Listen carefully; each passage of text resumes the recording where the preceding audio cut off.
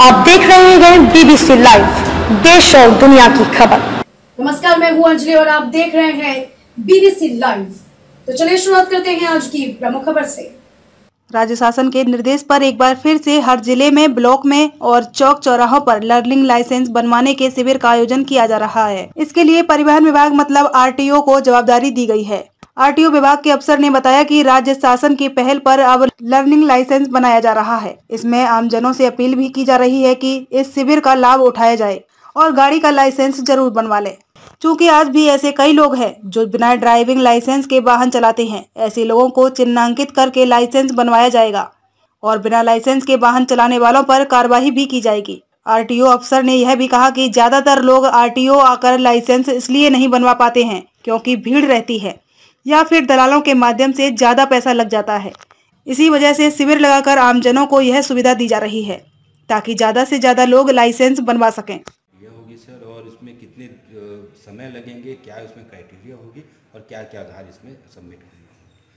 देखिए मुख्यालय से सभी आरटीओ और डीटीओ को ये निर्देश है कि जिला स्तर पर अलग अलग ब्लॉक में या फिर अन्य ऐसे चिन्हांकित जगह में जहाँ लर्निंग लाइसेंस के लिए ज़्यादा से ज़्यादा आवेदक आ सकते हैं वहाँ शिविर लगाना है।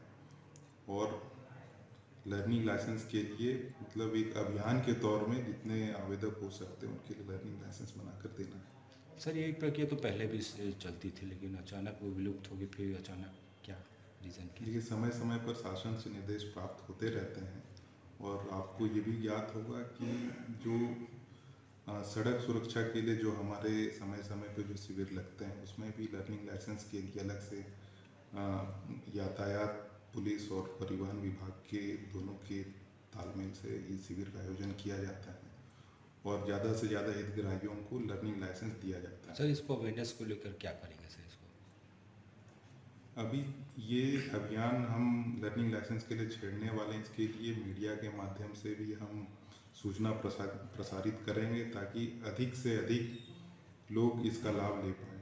ऐसा क्या अनुमान लगाएँगे कब से शिविर का फ़ायदा लाभ मिल सकता है? देखिए हमारी अभी इनिशियल स्तर पे ये योजना है कि प्रत्येक सप्ताह में एक ब्लॉक मुख्यालय को टारगेट करें और समय समय पे जैसा हमें और इनपुट आएँगे कि ब्लॉक मुख्यालय के अलावा भी किसी जगह पर शिविर का आयोजन किया जा सकता है जहाँ ज़्यादा लोग आएँगे तो हम उन जगह पे भी शिविर का आयोजन करने की प्लानिंग कर रहे हैं। सर फिटनेस प्ले खबरों में अब तक लिए बस इतना भी मिलते हैं फिर ऐसी ही किसी बड़ी खबर के साथ। तब तक के लिए नमस्कार। और देखते रहिए बीबीसी लाइव